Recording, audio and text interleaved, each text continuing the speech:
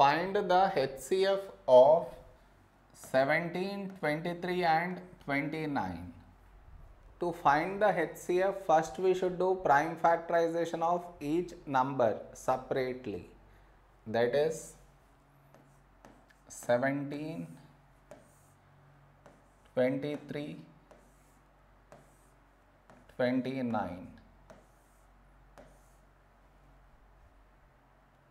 Now, see man, 17 is a prime number, so we take 17 and 1.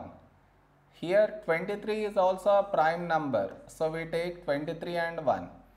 Here 29 is a prime number, so we take 29 and 1. So now our HCF is HCF is the product of numbers that are present here and here and here. So now we should look for numbers that are present in these three places that is here, here and here. So let us start with 17. Do we have 17 here? No. So none of the numbers are common in all these three places. That means only one number is common that is 1. So your HCF is 1. Whenever no number is present in all the three places, you take HCF to be 1. Clear?